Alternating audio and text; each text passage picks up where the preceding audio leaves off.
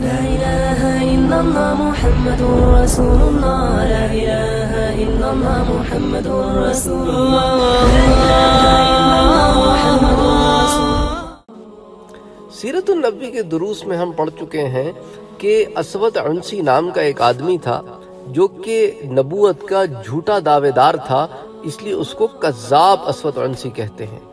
حضرت نعمان بن برزخ فرماتے ہیں کہ اسود انسی کذاب قبیلہ بنو عبس کا ایک آدمی تھا۔ جب اس نے نبوت کا جھوٹا دعویٰ کیا تو اس وقت اس کے ساتھ دو شیطان تھے۔ ایک کا نام سحیق تھا اور دوسرے کا نام شفیق تھا۔ یہ دونوں شیطان لوگوں کے تمام معاملات و واقعات اس اسود انسی کو اطلاع دے دیتے تھے۔ یعنی یہ کذاب اپنے ان دونوں شیطانوں کی شہ پر لوگوں کو گمراہ کرتا اور نبوت کا جھوٹا دعویٰ کرتا۔ تو پھر یہ ہے، یہ واقعہ جو ہے، وہ امام بحقی نے سنن القبرہ میں روایت کیا ہے۔ اس کی بعض تفصیلات جو ہیں وہ ہم آپ کے سامنے پیش کرتے ہیں۔ جیسا کہ مثال کے طور پہ مدارج النبوہ وغیرہ میں آتی ہیں، اور پھر دیگر ارباب سیر نے بھی لکھی ہیں۔ روایات میں آتا ہے کہ اللہ کے رسول صلی اللہ علیہ وآلہ وسلم جب حجت الوداع سے واپس تشریف لائے، تو بعض اشقیاء و جہال کو دعوی نبوت کا خبت سمایا۔ چنانچہ ایک طرف تو یہ مسلمہ کذاب، یہ ثمامہ کا تھا۔ اس نے دعویٰ نبوت کا جھوٹا دعویٰ کیا۔ اسی طرح اسود بن کعب عنسی اس نے کیا۔ اسی طرح طلحہ بن خویلت اسدی اس نے کیا۔ اسی طرح ایک عورت تھی جس کا نام سجا بن تلحارس بن سوید تھا۔ اس نے بھی نبوت کا دعویٰ کیا اس نے نبوت کا یعنی عورت نبی کبھی سننے میں نہیں عورت نبی کا دعویٰ کیا۔ بہرحال اس طرح کئی لوگوں کو یہ جوش چڑھا کہ ہم بھی دعوے کرتے ہیں، ہماری واہ واہ ہو جائے گی اور ہر طرف ہمارا بھی جو ہے لوگ وہ اعتقاد میں آ جائیں گے، ماننے لگیں گے۔ تو بہرحال ان تمام دعوے داروں میں اسود انسی جو ہے، وہ دوسرا مدعی نبوت تھا، جو انس بن قدحج سے منسوب تھا۔ اس کا نام علیا تھا اور اسے ذوالخمار بھی کہتے ہیں۔ خمار کے معنی دو پٹے کے ہیں کیونکہ یہ اپنے منہ پر دو پٹا ڈالا کرتا تھا، اور بعض اسے ذل خمار کے بجائے خا کے بجائے ہا سے یعنی ذل حمار کہتے ہیں۔ بہرحال اس کی وجہ تسمی یہ بتاتے ہیں کہ وہ کہتا تھا، جو شخص مجھ پر ظاہر ہوتا ہے، وہ گدے پر سوار ہوتا ہے، اس لیے اس کو ذل حمار کہتے تھے۔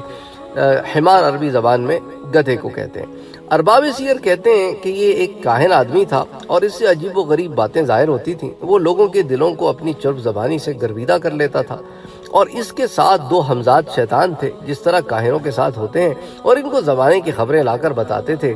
اس ملعون کا پورا قصہ اس کی ابتدا اور انجام کا یہ ہے کہ بازان جو ابنائے فارس سے تھا اور کسرا کی جانب سے یمن کا حاکم تھا، اس نے آخر میں توفیق اسلام پائی، جیسا کہ ہم سیرت النبی کے دروس میں پڑھ چکے ہیں۔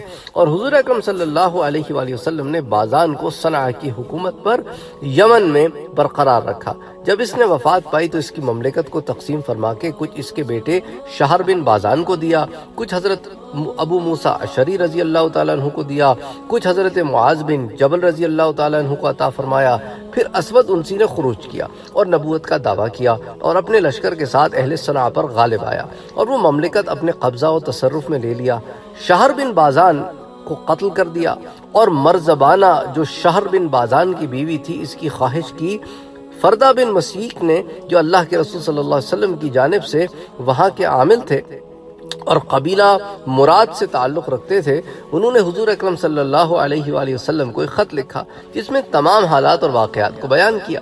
حضرت معاذ ابن جبل اور حضرت ابو موسیٰ عشری، جو اس وقت انہی علاقوں میں تھے، باہم اتفاق رائے سے حضر موت چلے گئے تھے۔ جب یہ خبر بارگاہ رسالت میں پہنچی تو اس جماعت کو حضور اکرم صلی اللہ علیہ وآلہ وسلم نے لکھا کہ متفقہ طور پر جس طرح بھی ممکن ہو، اسود انسی کے شر و فساد کے دفع کرنے کی کوشش کرو۔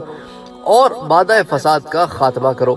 اس پر تمام فرما برداران نبوت ایک جگہ جمع ہو گئے اور مرزبانہ کو پیغام بھیجا کہ اسود انسی وہ شخص ہے جس نے تیرے باپ اور تیرے شوہر کو قتل کیا ہے۔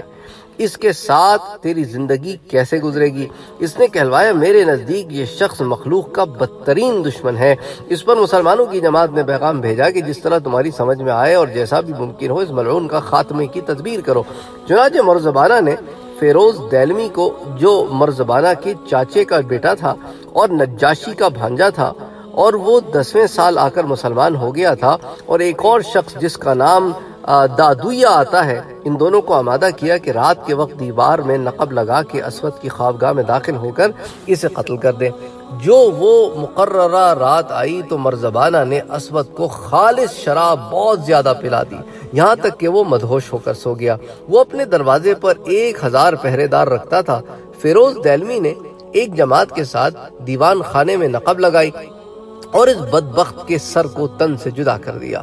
اس وقت بڑی شدید آواز گائے کے ڈکارنے کی اس طرح اس کے منہ سے نکلی۔ پہرے داروں نے جب یہ آواز سنی تو اس کی طرف دوڑے۔ مرزبانہ گھر سے نکل کر ان کے سامنے آگے اور کہا، خاموش رہو کیونکہ تمہارے نبی پر وہی آ رہی ہے۔ جب صبح ہوئی اور موزن کو اس حالت کی اطلاع ملی تو اس نے آزان میں اشہد ان محمد رسول اللہ کے بعد اشہد ان علیہ کذاب بڑھا کر پڑھا۔ حضور اکرم صلی اللہ علیہ وآلہ وسلم کی رحلت فرمانے کے بعد مدینہ منورہ میں یہ خبر پہنچی۔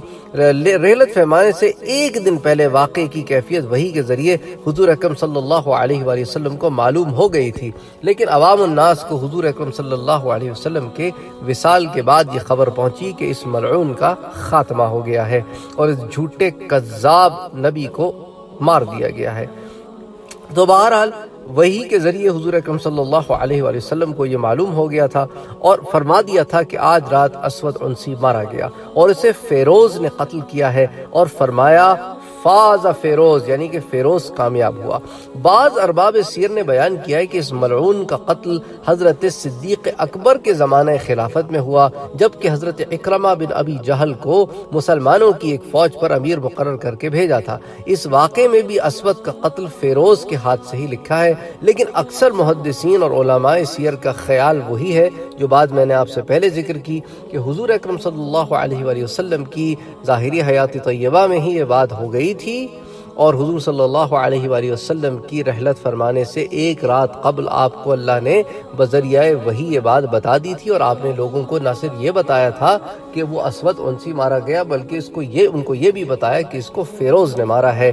تو بہرحال یہ دو واقعات آتے ہیں لیکن دونوں میں جو کامنالٹیز ہیں، وہ بھی میں نے آپ کے سامنے بیان کر دیں کہ قاتل فیروزی ہے، صرف وقت میں ذرا اختلاف ہے، بعض کا خیال ہے کہ حضور اکرم صلی اللہ علیہ وآلہ وسلم کی ظاہری حیات طیبہ میں یہ ہوا، اور بعض کا خیال ہے کہ نہیں، صدیق اکبر رضی اللہ تعالیٰ عنہ کے دور میں ہوا۔